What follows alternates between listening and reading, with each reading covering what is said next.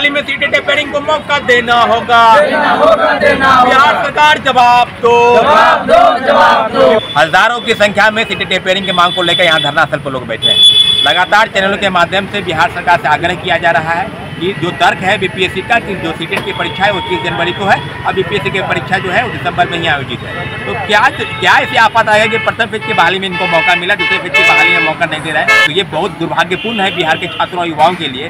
साथ ही मांग करते हैं हम कि बिहार के छात्रों के साथ भकमारी न हो उनको रोकनी मिले। के घर के बाहर मना दिया। छठ पूजा यहाँ गर्दनी बाग में मना मना मना रहे हैं। बिहार के युवा के साथ क्या करना चाहती है सरकार? हमारी मांग कभी नाजायज हो तो हमें बता दिया जाए कि आपकी मांग नाजायज है। हम तो सिंपल सी मांग करेंगे हमें एग्ज़ाम में बैठने का मौका दिया जाए। अगर हम पास होंगे तो हमें नौकरी दीजिएगा फेल होंगे तो जूता मार के निकाल दीजिएगा। हमारी मांगे बस यही कि सिटी डेफिनेट को मौका मिलना चाहिए क्योंकि टीआरई वन में अगर मौका मिला है तो टीआरई टू में क्यों नहीं? कहा जाता बेटी बचाओ बेटी पढ़ाओ। आगे बेटी पढ़ाओ तो क्या फ़ायदा जब एग्ज़ाम में बैठने ही नहीं दिया जा रहा है? तो नौकरी तो दूर की बात एग्ज़ाम में बैठने का तक मौका नहीं मिल रहा। है नमस्कार एनबीसी 24 देख रहे हैं आप। मैं हूँ आपके साथ अभिषेक। देखिए, बिहार में जिस तरीके से शिक्षक बहाली को लेकर सेकेंड फ़ेज़ की बहाली निकाली गई है, इसमें अब अपेयरिंग कैंडिडेट मौका मांग रहे हैं। इसको लेकर लगातार पटना की सड़कों पर दर दर भटक रहे हैं। ऐसे में गर्दनी बाग धरना स्थल पर लगातार प्रदर्शन जारी है। बता दें आपको कि एक वीडियो सामने निकल के आया जहाँ पर अभ्यर्थी लगातार नीतीश सरकार का विरोध कर रहे हैं। तो वहीं अभ्यर्थियों का यह साफ़ कहना है कि अपेयरिंग कैंडिडेट जो सीटेड के हैं, उनको मौका सेकेंड फ़ेज़ की बहाली में दिया जाएगा। नहीं मिलता है मौका तो कहीं ना कहीं आंदोलन जारी रहेगा। तो वहीं अभ्यर्थियों की नसीहत है। वहीं नीतीश सरकार को नसीहत देते हुए क्या कुछ कह रहे तमाम अभ्यर्थी छात्र था सौरभ वो सुने आप लोग। पूरी करो पूरी करो। एक बहाली में सीटें टेपरिंग को मौका देना होगा। देना होगा देना बिहार सरकार जवाब दो। जवाब दो जवाब दो। चेयरमैन को जवाब देना होगा। देना होगा देना हमारी मांगे पूरी करो। पूरी करो पूरी करो। हमारी मांगे पूरी करो। पूरी करो पूरी करो। एक दिवसीय धरना का आयोजन गर्दनी बाग धरना स्थल पर किया गया था।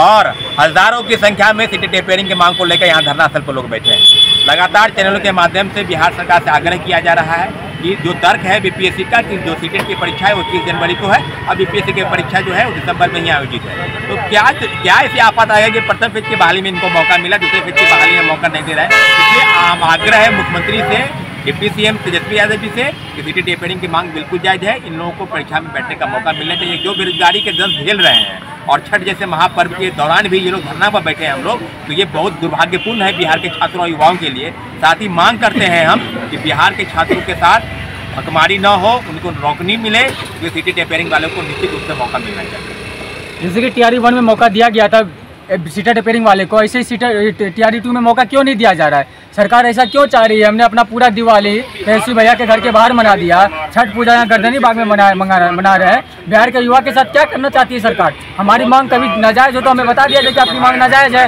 हम तो सिंपल सी मांग करेंगे, हमें एग्ज़ाम में बैठने का मौका दिया जाए। अगर हम पास होंगे तो हमें नौकरी दीजिएगा, फेल होंगे तो जूता मार के निकाल दीजिएगा। जैसा मर्ज़ी हो वैसा कर दीजिएगा, लेकिन हमें मौका तो दिया जाए। आपकी क्या मांग है? हमारी मांगे बस यही कि सिटी डेफिनेट को मौका मिलना चाहिए क्योंकि टीआरई वन में अगर मौका मिला है तो टीआरई टू में क्यों नहीं? कहा जाता है बेटी बचाओ बेटी पढ़ाओ। आगे बेटी पढ़ाओ तो क्या फ़ायदा जब एग्ज़ाम में बैठने ही नहीं दिया जा रहा है? तो नौकरी तो दूर की बात एग्ज़ाम में बैठने का तक का मौका नहीं मिल रहा है। आखिर हम लोग के साथ ये अन्याय क्यों हो रहा है?